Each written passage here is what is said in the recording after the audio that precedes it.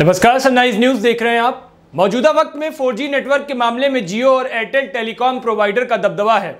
इन दोनों कंपनियों की तरफ़ से इस साल की शुरुआत में टैरिफ प्लान की कीमत में इजाफा किया गया था। साथ ही फिर से कीमत बढ़ाने का ऐलान कर चुकी हैं, लेकिन जल्द ही जियो और एयरटेल की बादशाहत को जोरदार झटका लगने जा रहा है, क्योंकि सरकारी टेलीकॉम कंपनी भारत संचार निगम लिमिटेड बीएसएनएल जल्द स्वदेशी 4G और 5G सर्विस लॉन्च करने जा रही है। सरकारी फर्म सी डॉट की एक अधिकारी की माने तो सी डॉट और टीसीएस मिलकर स्वदेशी 4G और 5G नेटवर्क टेक्नोलॉजी पर काम कर रहा है। रिपोर्ट के मुताबिक इस साल 15 अगस्त 2022 तक बीएसएनएल 4G और 5G नेटवर्क की लॉन्चिंग कर सकता है। कन्वर्जेंस इंडिया इवेंट में centre for development of telematics C dot के कार्यकारी निदेशक राजकुमार उपाध्याय ने कहा कि कंसोर्टियम ने स्वदेशी रूप से लगभग 30 मिलियन अमेरिकी डॉलर की लागत से टेक्नोलॉजी विकसित की है।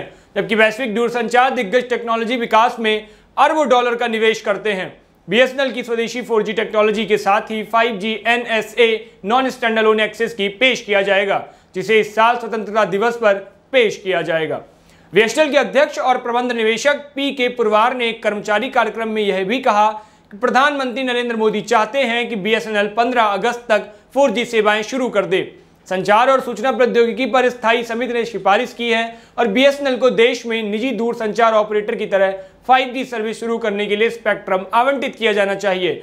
उपाध्याय ने बताया कि सरकार ने बीएसएनएल को 4G नेटवर्क शुरू करने के लिए पैंतालीस हज़ार करोड़ रुपए का प्रावधान किया है।